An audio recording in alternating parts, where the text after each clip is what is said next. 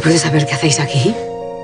¿Es que ha pasado algo en la mina? El ambiente sigue caldeado, más las cuadrillas trabajan a pleno rendimiento. ¿Entonces? Hemos de reconocer que nos ha podido la curiosidad. Últimamente está usted de lo más misteriosa. Y eso sumado a que se encierra aquí cada tarde, pues... ¿Por qué razón pasa ahí dentro de las horas muertas? Esto es el acabose. Ahora tengo que dar explicaciones a mis hijos de lo que hago o dejo de hacer. Comprenda que nos preocupemos, madre. Pues no hay nada de qué preocuparse. Olvidadlo.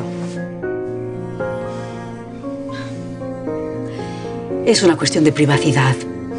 He habilitado este lugar como refugio personal para mis momentos de, de calma y recogimiento. ¿Podemos entrar? No. ¿Qué parte no has entendido de que este es un lugar privado, Adolfo? Madre tiene razón, Adolfo. Hemos de respetar su intimidad. Hazle caso a tu hermano, Adolfo. Que precisamente cuando vengo aquí es porque no tengo ganas de ver ni hablar con nadie. ¿Queda claro? Sí, madre. Adolfo, Perfectamente claro, madre. Nos mantendremos alejados de este lugar. si respetáis eso, no habrá ningún problema.